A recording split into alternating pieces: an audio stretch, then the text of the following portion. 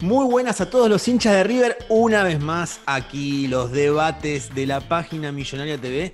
Emanuel Cerrulla quien les habla junto al señor el turco Nadir Gazal Turquito. Venimos ya, no sé, seis meses, siete meses debatiendo. Espero que hoy estés a la altura. Espero estar a la altura, sobre todo de, toda tu escenografía. Ahí veo que ya te estás equipando a todo modo. Pareces un periodista, te digo en serio. Uno te ve y dice, este pibe es periodista. Sabemos que no tenés ninguna materia aprobada al respecto, pero la verdad me genera mucho respeto tu, tu locación, ¿eh? La verdad que sí, sí. me sorprende. Las apariencias engañan de todas maneras. Eh, Exacto.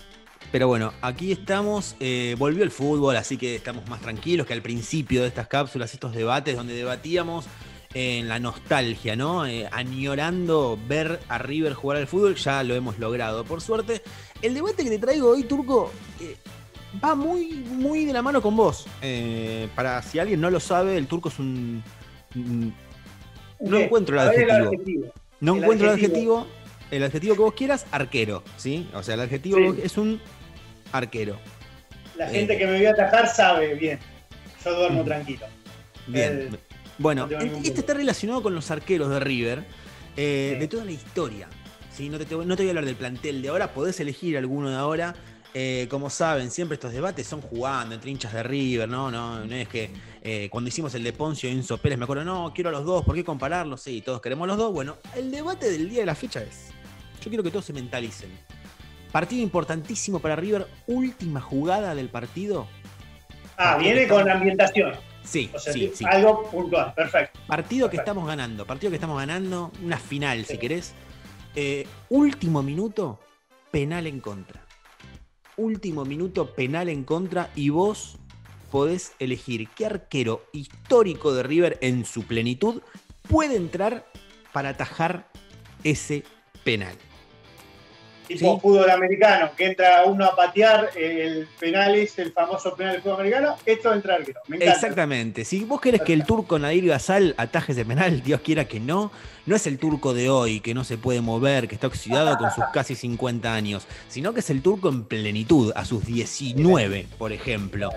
Eh, entonces les propongo eso, hinchas de River. Yo quiero ver en los comentarios qué dicen algunos. Bueno, ya empezaron con Armani. Pará, para un poco, vamos a calmarnos.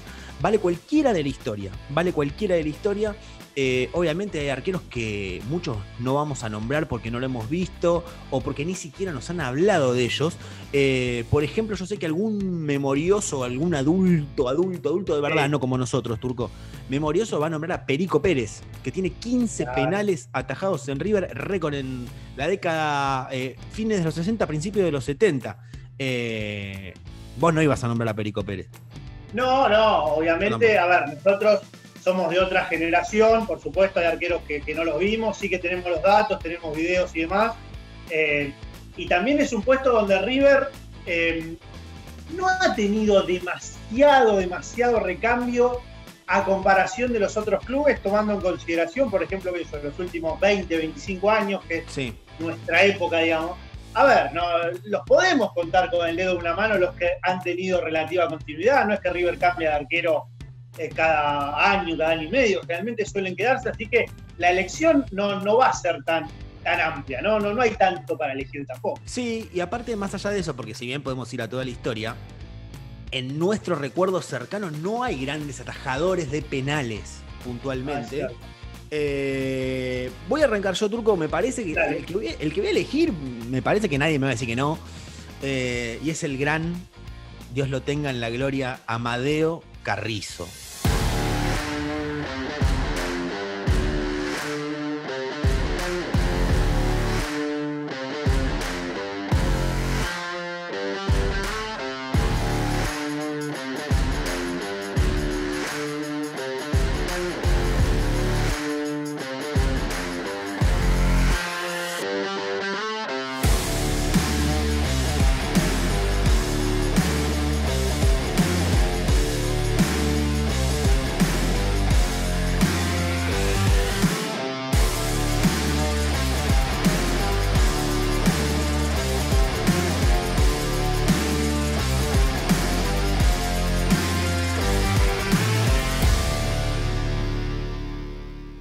Amadeo, nosotros en particular no, no lo hemos visto trabajar, pero cada vez que hablas eh, con un abuelo o con el papá de alguno, eh, alguien que logró verlo, te dice que era sin duda el mejor arquero que vio en su vida.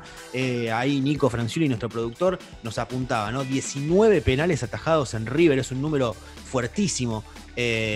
así que yo me quedo con el gran Amadeo. No sé qué opinás vos, Turquito. Sí, coincido, me parece que es el nombre a, elegir en, este debate. aparte, en una época donde, a ver, no se disputaban tantos torneos internacionales, tampoco, tampoco había demasiada posibilidad, por ejemplo, de definiciones por penales, como para eh, consagrarse como arqueros especialistas, digamos. Eh, y Amadeo sí rompió con todos los moldes del puesto, ¿no? Este, si a mí alguna vez en la vida me dieron ganas de usar boina, fue justamente por, por haber visto videos de, Amadeo y nosotros también este, lo hemos visto y lo hemos disfrutado en el Estadio Monumental, en algún homenaje que se le ha hecho, que fue muy emotivo. La verdad que Amadeo nos revuelve a todos, es como nuestro abuelo, siempre lo decimos entre charlas este, más privadas. Eh, nos, remueve un poco eso, sumado a que era un arquero de, excelencia. ¿no? Me parece que es, un indiscutido número uno de este debate. Este, juegan todos por el segundo puesto. ¿Por qué no lo hiciste, Turco? ¿Qué cosa? Lo de la boina. Eh, la, boina Porque vos, tenés como.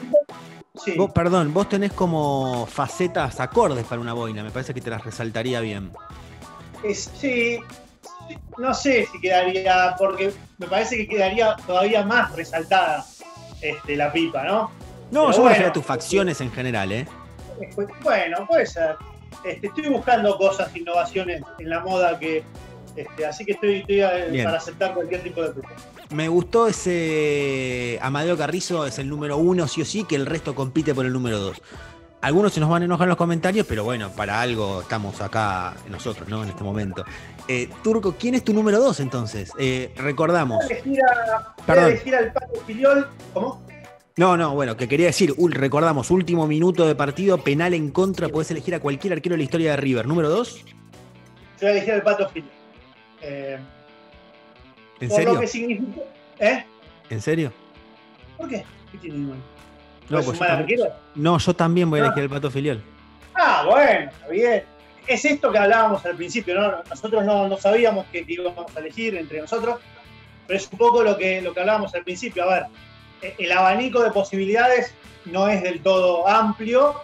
Eh, quizás los últimos arqueros de, la historia de River, caso Armani, caso Barovero, eh, si bien han atajado penales muy importantes, no son especialistas propiamente dicho en eso y uno por ahí seguía un poco más en lo que fue la historia o en arqueros que, han estado mucho más tiempo en el club y han revolucionado el puesto desde otro lado. Bueno, ahí en los comentarios estaba viendo justamente mucha gente eligiendo Trapito Barovero, porque claro, quedó el parapam en el recuerdo eterno de todos, de mucha gente Barovero, Barovero, Barovero, Barovero, y no es un especialista atajador de penales, eh, pero bueno, volvamos al Pato Filiol entonces.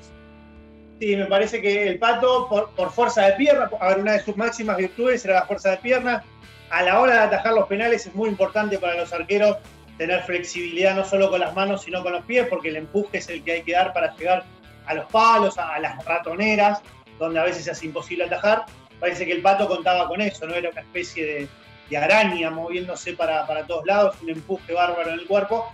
Parece que era un arquero que, con todas las condiciones como para convertirse en un gran atajador de penales y a quien yo elegiría tras Madera. Un gran atajador de penales, eh, le ataja un penal a Maradona cuando Maradona jugaba en Argentinos Juniors en 1980. Y sin ir más lejos, jugando para Vélez, en el momento de su retiro, le ataja un penal a River, a, Rubén da Silva en la apertura de 1990, un arquerazo, el Pato Filiol.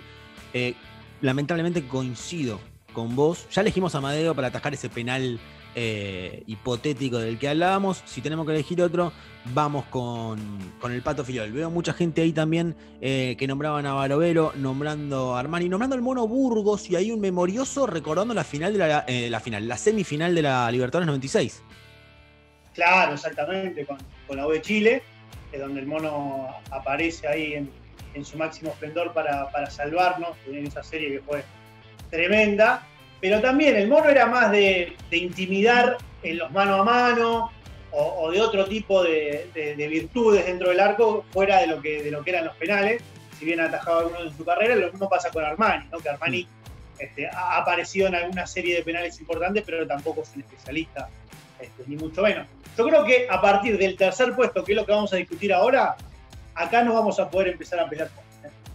Yo creo que acá viene. Bueno, eh, podemos empezar a pelear desde el punto de vista de que yo no tengo tercer puesto, en el sentido, te puedo nombrar algún que otro arquero, pero yo con esos dos ya estoy, no. Me parece que poner justamente un tercero que da años luz de los dos que nombramos. Puede ser, puede ser desde lo técnico y de lo que significaron para el club. Ahora, a la hora de atajar penales, uno no puede este, menospreciar a un arquero que por ahí no está a la altura de los otros dos a nivel histórico, pero que se destacaba en eso. Nosotros tenemos el caso, por ejemplo. No, Pelico Pérez, dijimos Pelico Pérez, atajó 15 Pelico penales. también, pero tenemos el caso, por ejemplo, del juvenil Leandro Chichisola, que lo hemos visto muy poco tiempo con, el uso de River, muy poco tiempo, que no tuvimos la, suerte de disfrutarlo más, más tiempo, y ha atajado la mitad de los penales que le han pateado en su carrera, sumado a que dos de los que atajó fueron parte del inicio de la época gloriosa de River, ¿no? Entonces, esa estadística en River, ¿no? ¿Cómo? Esa estadística en River, ¿no? River, por supuesto. Vos le seguiste la carrera después, vos qué te haces el, filósofo, le seguiste, ¿sabés que no, Italia, no, no, es que justamente, es que justamente, quizás el último penal que atajó fue contra Racing. a eso me refiero. justamente. Estamos hablando de River. ¿El debate que de River o de la especia de Italia donde después atajó cinco años? No, de ah, River y de arquero. Para atajar un penal vos elegís a Amadeo Carrizo, a Filioli y a Chichisola. Es, raro, es raro, es raro. Bueno, pero si vos te dejás llevar por el apellido nada más, no, si voy, eh, yo antes que Chichisola voy por, por Juan Pablo Carrizo. Por escándalo. No me voy a levantar, no me voy a levantar porque el director está filmando y queda desprolijo en el aire. Me quiero levantar e irme de este debate. Equipo del turco contra. Es que mi equipo no es un equipo de amigos. Mi equipo no es un equipo de amigos. El equipo, el equipo del turco contra el equipo de Emma. Penal para el equipo de Emma, vos pones a Chichisola y yo pongo, y si hay penal para vos, yo pongo a Amadeo Carrizo, eh, Juan Pablo Carrizo, perdón. Ah, por favor, no me lo compares porque ahí sí que me levanto y no vuelvo más. Sí. No, yo tampoco haría algo así, estoy de acuerdo. Pero vos perdés ese partido, tú otra vez. Me tiro a acordar, no sabés, te digo dos y no lo sabés. Sabés que no lo sabés y que estás quedando si ridículo en el aire. No, no, qué ridículo, pero pará, si el Pitágoras de acá sos vos, sos vos el que tiene la cuenta, las estadísticas, el, Gastón Recondo de, esta dupla sos vos, claramente. Vos sos el que sabe las estadísticas. Recuerdo un penal en cancha de la luz. Aparte, no quiero ir más, no quiero, no te quiero, no me vengas a buscar, no me torees con esa. Y cuando elegimos un jugador para patear un tiro libre, elegiste a Juan Quintero que tiene dos goles de tiro libre en River. Dos goles tiene. Pero tiene una pegada extraordinaria. no, bueno, yo elijo a Juan Pablo Carrizo porque tiene una volada magnífica. La va a buscar adentro después de los penales. Porque no es un especialista. Quintero es un especialista de los tiros libres y Carrizo no es un especialista de los penales. Hermano, ¿qué es lo que te pero bueno, está bien. Eh. Ahí nos peleamos un poco. La gente quiere ver un poco de esto. tu equipo siempre fue un equipo de amigos. Y como vos estás enojado con, eh, con Juan Pablo, Carrizo no lo pones. Un arquero de la puta madre. No encuentro otras palabras que me censuren. La verdad que no, no, no, voy a entrar en discusión sobre. No es un debate para entrar en discusión sobre Carrizo, que saben puta. Que no. Este, me parece que, que, elegimos un buen abanico de no. No sé si tenés, no sé si quieres nombrar al Beto Bolonia, algún nombre más que, te haya quedado. No, no, pero. Saludo al Beto, saludo al Beto. Saludos, un saludo enorme al Beto, un maestro. No, pero después del último tiempo es esto que decíamos, ¿no? Arqueros que han atajado penales importantes, pero que para nada se han consagrado como especialistas. Así me parece que hicimos una selección muy buena. Fuera, fuera de chiste, eh, el Beto Bolonia es buen, buen atajador de penales. Sí, y buen pateador de penales. Buen pateador de penales también. Yo me acuerdo en una pretemporada de River contra San Pablo, me parece que fue que ataja un penal. Eh, estuve ahí viéndolo. En fin, eh, ¿qué arquero elegís de la historia de River para atajar un penal, obviamente en contra en el último minuto? El nombre Amadeo Carrizo, el nombre Ubaldo Filiol, tendencia claramente está. Turquito, un honor haber debatido con vos sobre un puesto que tampoco conoces. Lo mismo digo, sobre todo por un puesto que no solo que conoces poco, sino que le acertás bastante poco, que es el del arco. No, no, no, el puesto lo conozco poco, por suerte, bueno, me odian los arqueros por cuestiones lógicas. Eh, Turquito, muchas gracias. Eh, le agradecemos como siempre, de verdad, de corazón a todos los hinchas de River que se prenden a los debates de la página millonaria. Y como siempre, la información del más grande está allí, www.lapaginamillonaria.com. Gracias y como siempre, aguante River.